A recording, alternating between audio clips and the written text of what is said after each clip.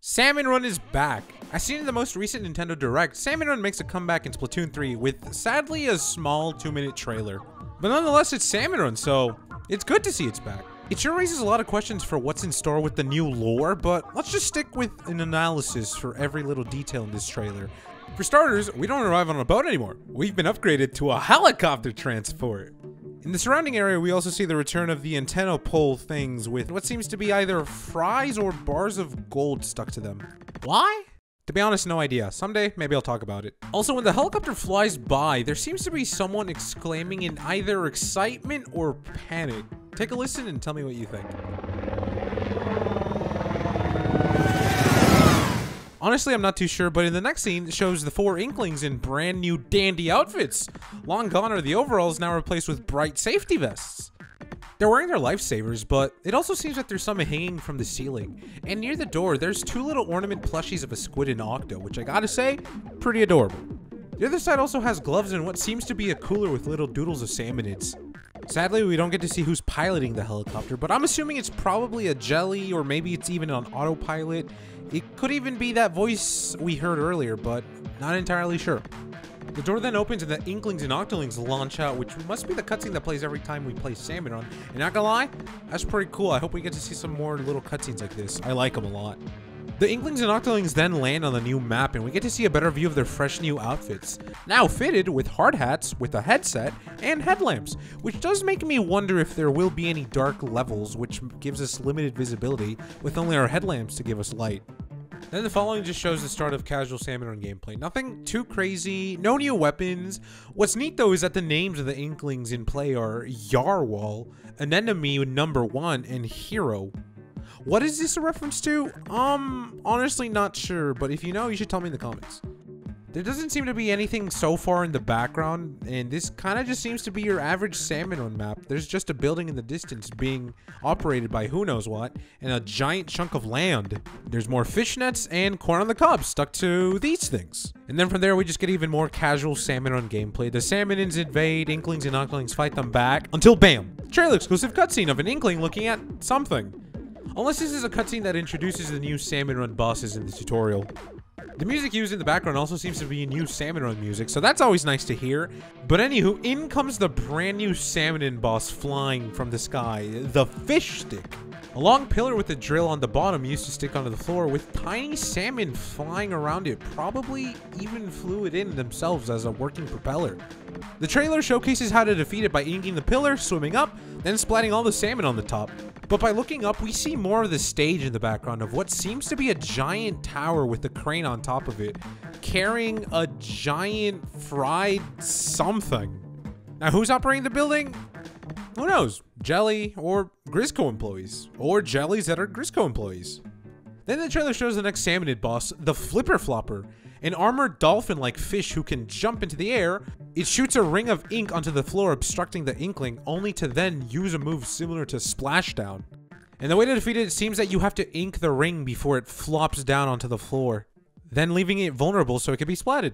And now, the coolest new feature added to Salmon Run. The Egg Throw. This opens up an all-new egg delivery strat for faster deliveries, and since, later in the trailer, it's shown that you can toss the egg multiple times, and you can even toss the egg into the basket. Then the game continues to show more intense Salmon Run gameplay with bosses and salmon engulfing the area, with returning bosses such as the Steel Eel, Drizzler, Maws, Stinger, and Flyfish. I'm sure the Scrapper is in there somewhere, unless they decided to finally retire them. Oh wait, just kidding, there he is. Anyways, we then get to see more Crab Tank gameplay with its icon visible in the top right. It seems to have two shooting modes with dual cannons, possibly with Rapid Fire being the ZR button and Strong Attack being the R button. We then see the Inklings and Octolings tossing the egg in teamwork into the basket like I said earlier, and they celebrate their victory as we all do, booyahing and shooting into the air. Until then the game glitches and we get to see a big ol' salmonid. There's no pupils on him, it's just a big chunky body with chains and an anchor on it. Now, what in the world is this thing? I honestly have no clue. It could be king of the salmonids or a mega boss of some sorts. Now, will this mega salmonid be involved in the lore? I hope.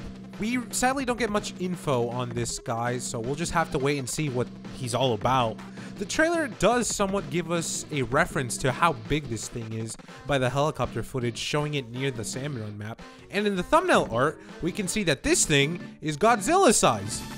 But finally, bam, Splatoon 3 Salmon Run, next wave. Salmon Run is back, and I am so glad to see that it is. Oh yeah, and we still don't have a release date, but that's okay, because we get to see new Agent 3 with a flip phone and our little buddy. And that's the whole Salmon Run trailer. We sadly didn't get to see much lore. This was solely gameplay based, but this just leaves a bunch of brand new possibilities for Salmon Run. I still feel like this was a very small trailer and there wasn't really too many things to look at unless I did miss something. So that would be pretty sad, but luckily you can tell me in the comments below. But this trailer also opens up a lot of questions like, is Mr. Grizz still in command of Grizzco Industries? How is our little bud involved with the salmonids? Do they have any kind of correlation? What does the brand new Salmon Run area look like? What's coming back to Salmon Run? Are we getting the Golden Boy comeback? Are we getting the Alien Invasion back? Are we probably getting some kind of brand new Endless Salmon Run mode? Which would be kind of sick. I have been wanting that for a while. And I honestly would think it would be really, really cool if we could get some kind of endless mode with high scores to see who survived the longest, to see who's the best Salmon Run player out there. But I don't know. I have high hopes for Salmon Run. It's a very good game mode, and I really do enjoy it a lot. So I'm glad to see it's making a comeback. Oh yeah, and once again, what is that giant salmonid thing? Seriously, it looks menacing and so cool at the same time.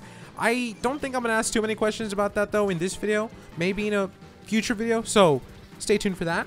And I hope we get some kind of brand new Splatoon trailer or even a direct. That would be pretty sick. I still feel like we're missing a lot of information, such as ranked modes, more lore and story clips, whatever happened Off the Hook, maybe even get some new information if we do get new idols. But for now, I think I'm going to leave it like that. So thanks for watching. Make sure to like and subscribe. And hey, click that bell for more Splatoon and Nintendo content, and I'll see you guys later. Goodbye.